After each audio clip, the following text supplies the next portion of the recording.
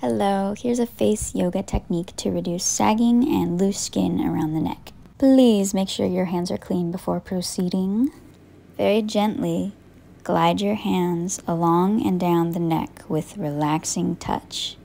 This is promoting lymphatic drainage, which is occurring just right underneath the skin, so we don't need to go too crazy.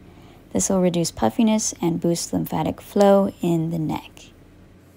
Next up, we're going to place our fingers on our collarbones, puff out our lip like a giraffe, and lift our chin up for one deep breath.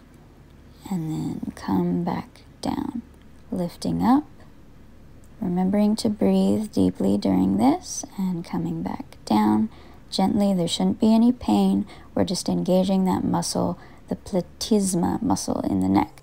And then come back down. This is a wonderful combination of both relaxing and strengthening the front of the neck muscle, which in time will tone the skin, reduce lines, wrinkles, sagging of the skin, while also strengthening the jaw muscle too. Wonderful, right? Thank you for watching. I hope you enjoyed, and special thanks to my guest who was behind me the whole time.